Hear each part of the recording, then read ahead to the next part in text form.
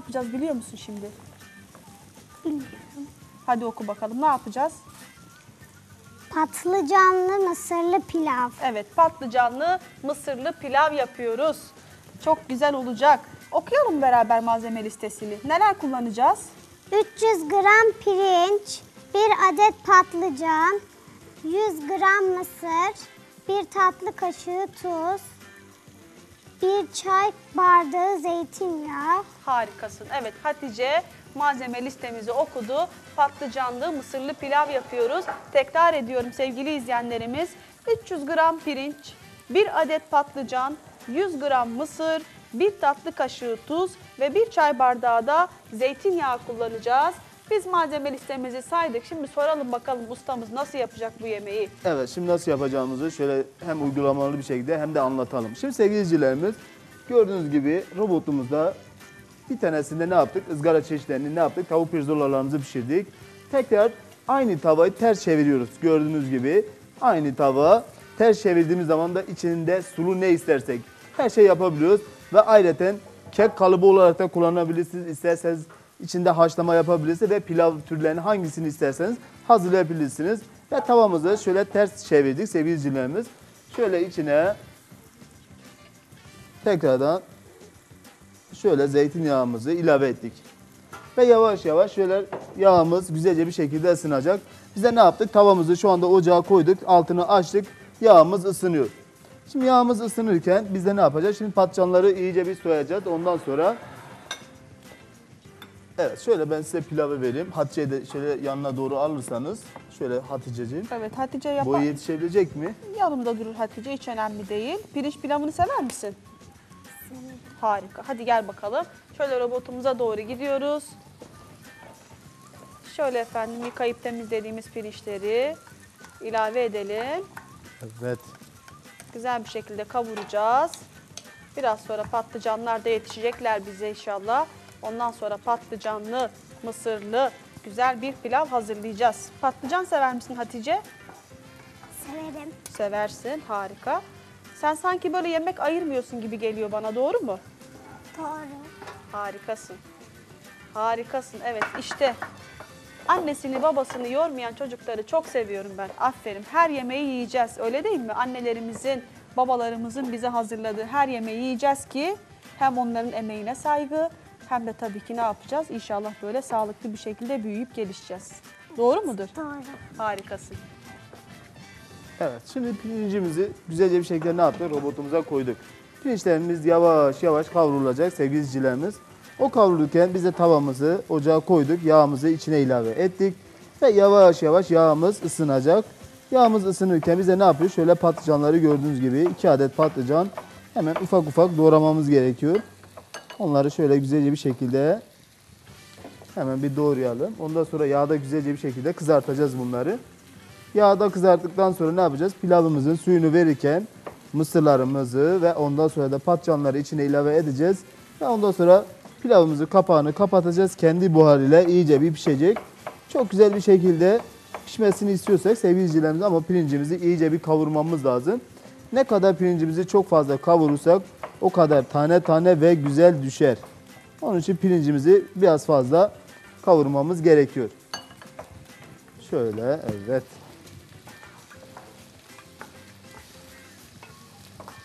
Şöyle ilk önce ne yapalım? Patlıcanları bir hazırlamamız gerekiyor. Onları bir ufak ufak doğramamız gerekiyor sevgili izleyicilerimiz. Şöyle bir yağımıza bakalım. Evet. Yağımız şu anda ısınmış. Evet. Şöyle yağımız ısındıktan sonra şöyle patlıcanlarımızı içine ilave ediyoruz. Evet şöyle. Hatice'cim gel şöyle kenarda dur bir tane.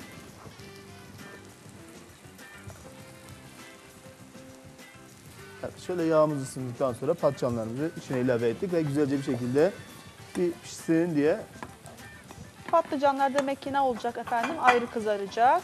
Daha sonrasında onları patlıc e, pilavımıza ilave edeceğiz. Zaten mısırlar da haşlanmış.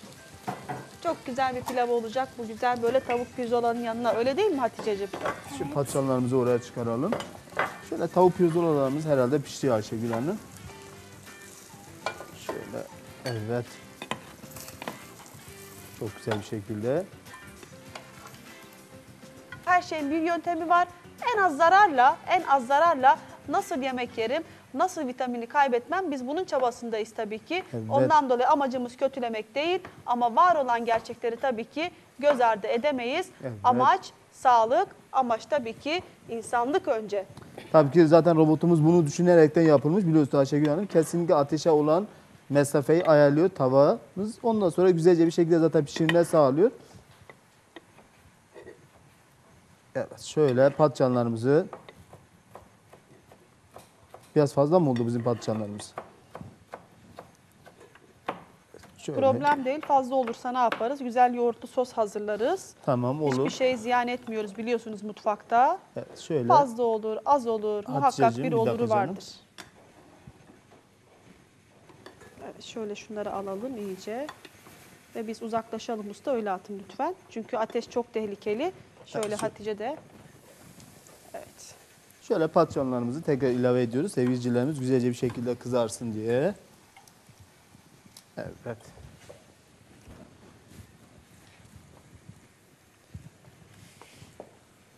Şöyle patlıcanlarımızı yağımıza ilave ettik. Onlar güzelce bir şekilde kızarsın sevgilicilerimiz. Şöyle suyumuz ısındı. Biz de şöyle mısırları hemen yanımıza doğru alalım.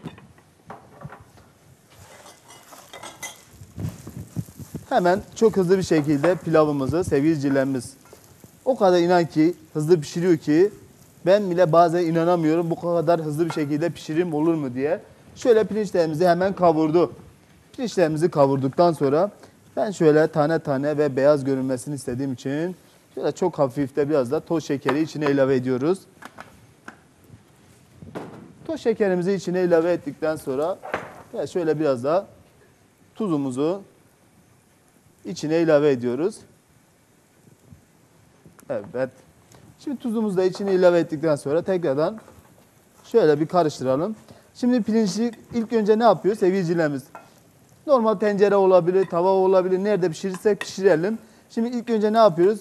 Tavamıza, tenceremize koyduğumuz zaman ilk önce ne olur? Topaklaşır pirinçler. Birbirini tutar bile. Topak topak olur ve kavruldukça yani tam e, su verme noktasına geldiği zaman pirinçler tekrardan kendi birbirini bırakır.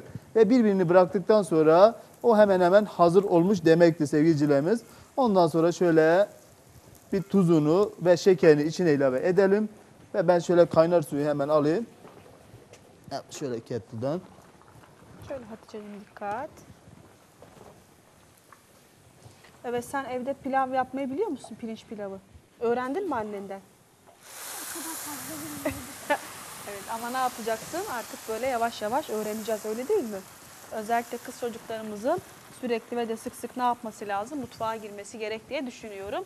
Ama ayrım yapmıyoruz. Tabii ki erkek çocukları da mutfağa sokacağız. Onlar da alışsınlar. Evet şöyle sevgilicilerimiz ne yaptık? Güzelce bir şekilde suyumuzu şu anda verdik.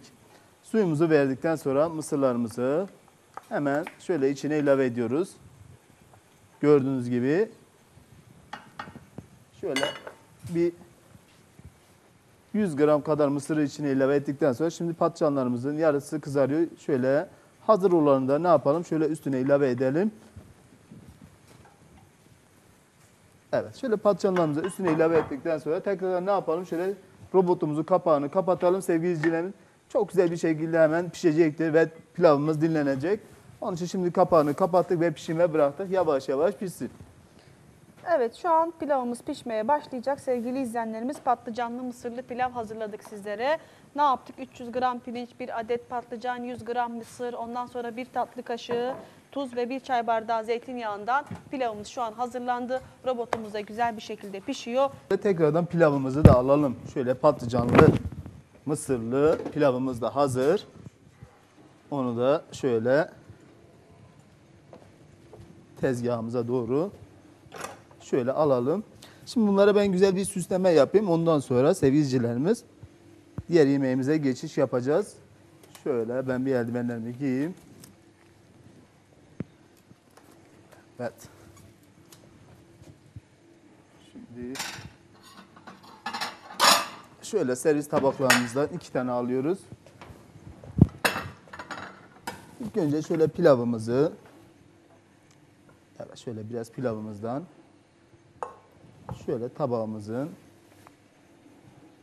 kenarına gelecek şekilde hemen alalım biraz. Çok fazla da böyle dağıtmak istemiyorum sevgili izleyicilerimiz gördüğünüz gibi. Biraz da şöyle kenarına biraz patlıcan koyalım Ayşegül Hanım. Şöyle görüntü olsun diye. Evet. Şöyle bırakalım. Evet, şöyle pilavımız hazırlandı sevgili izleyicilerimiz. Gördüğünüz gibi hemen pilavımızı şöyle kenara alalım. Şimdi pilavımızı kenara aldıktan sonra evet. Hatice'cim al canım. Afiyet olsun. Şöyle bir tabak da alalım.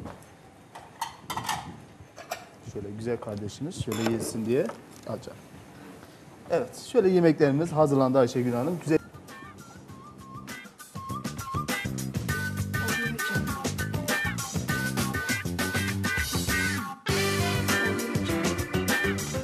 kolay kurulumu,